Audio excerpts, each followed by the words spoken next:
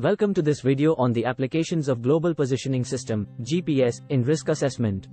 GPS has revolutionized the way we navigate and communicate, and it has also emerged as a powerful tool in risk assessment and management.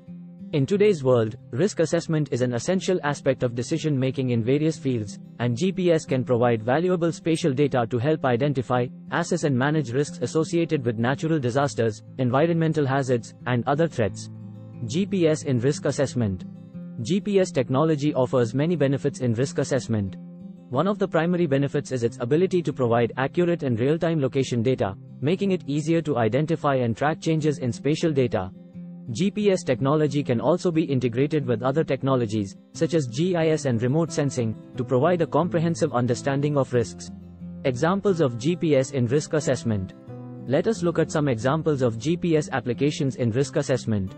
Natural disaster risk assessment.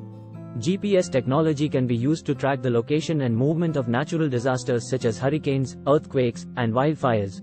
By analyzing GPS data, experts can predict the trajectory and severity of a disaster, identify vulnerable areas and populations, and develop emergency response plans. Environmental risk assessment. GPS can be used to track the location and movement of pollutants, such as oil spills and chemical leaks. GPS technology helps in identifying the source of contamination, tracking the movement of pollutants, and evaluating the potential impacts on human health and the environment. Infrastructure risk assessment. GPS can be used to monitor the structural integrity of critical infrastructure such as bridges and dams. By analyzing GPS data, engineers can detect changes in structure and predict potential failures, allowing for timely repairs and maintenance. Health risk assessment. GPS can be used to track the location and movement of disease outbreaks, such as COVID-19.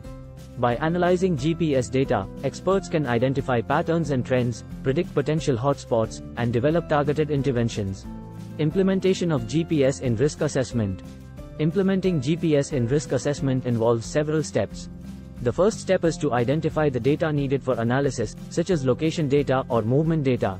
The next step is to collect the data using GPS devices or sensors. The third step is to analyze the data using GPS tools and techniques, such as geofencing, tracking, and mapping. Finally, the results of the analysis are used to develop strategies and plans for managing and mitigating risks. Challenges of GPS in risk assessment.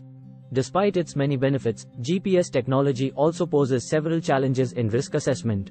One of the primary challenges is data privacy and security, as GPS data can be sensitive and confidential.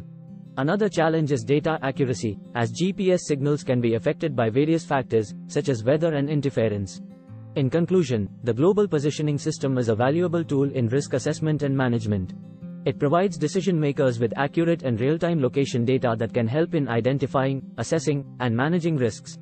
With the increasing availability of GPS devices and sensors, the application of GPS in risk assessment will continue to grow and play a crucial role in decision-making processes.